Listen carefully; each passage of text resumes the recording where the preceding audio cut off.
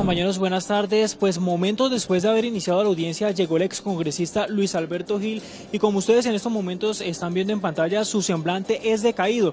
Es por esto que su abogado defensor solicita al juez que se le otorgue el beneficio de casa por cárcel. Además denuncia que en el lugar en donde en estos momentos él está recluido no se le está garantizando el servicio de salud.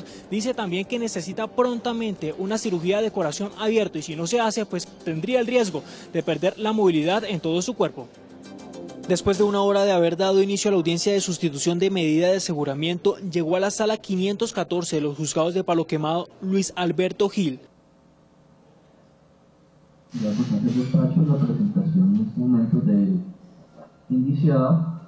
como se observa en las imágenes, su estado de salud no es el mejor. Por estos mismos hechos, su abogado defensor solicitó al juez que el excongresista reciba el beneficio de casa por cárcel, en lugar de continuar recluido en la cárcel La Picota.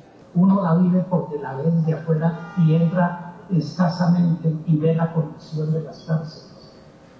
No es justo, no es justo que este persona, esta persona, ciudadano que no ha sido siempre condenado, el ex senador es investigado por presuntamente haber participado en una red criminal dedicada supuestamente a buscar beneficios para incidir en la extradición de Jesús Santrich, mientras el excombatiente se encontraba recluido en el centro penitenciario de La Picota. Estas serían las pruebas con las que la fiscalía vincula al ex senador con esos actos de corrupción, en los que también participó el entonces fiscal delegado de la JEP, Carlos Bermego, y otras tres personas más. Los hechos, según el ente acusador, se habrían registrado en dos hoteles en el norte de la ciudad de Bogotá. Wilmer Burbano Cable Noticias.